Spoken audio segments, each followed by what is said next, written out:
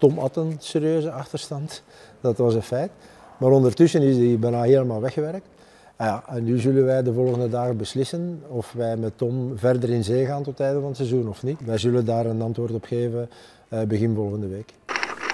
Om toch de naam te zeggen, Alexander Bjelica. Ik denk dat het nog voor de club, nog voor hem uh, positief zou zijn om hier te blijven. Dus op zoek naar een linker uh, linksbak.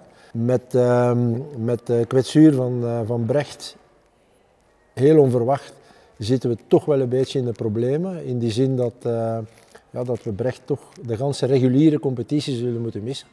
Dus hij zal klaar zijn voor de play-offs. Maar het is te riskant om alleen maar met Jelle bataille door te gaan.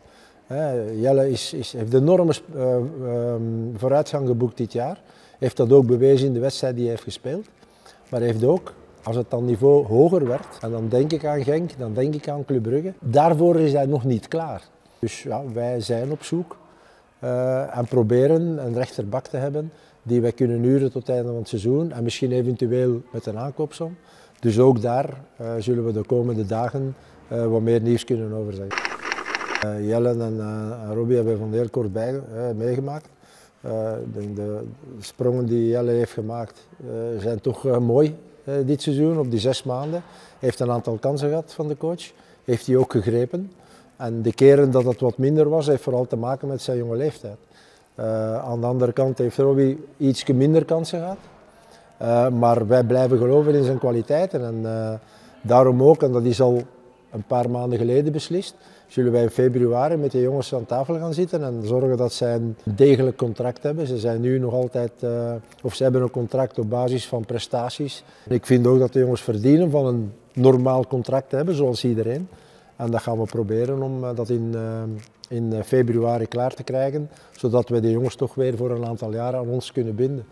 En wat Bouchiri betreft, dat hangt volledig af van, van Eupen. We hebben een toch wel ogen aankoopsom, omdat Eupen dat wou, in zijn contract gezet.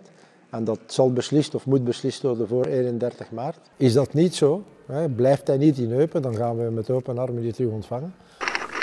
Ik verwacht uh, uh, Michiel zeker nog dit seizoen, zij het dan misschien in de play-off 2, maar toch weer terug bij de groep en klaar om eventueel toch een aantal wedstrijden te spelen. Op het moment dat hij dus uh, fit verklaard wordt, wordt zijn optie gelicht.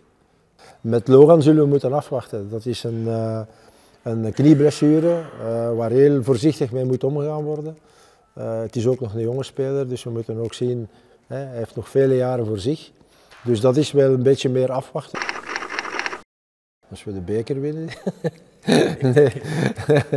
ik zal heel tevreden zijn. Wij moeten nu een, een, doel hebben en ons doel is dit in de plaats.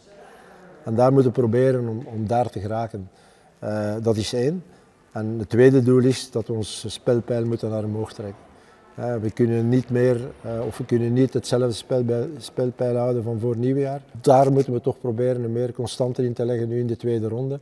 Als ik dat, die twee zaken um, um, gerealiseerd zien, dan zal Hugo Broos een, een zeer tevreden sportief directeur zijn.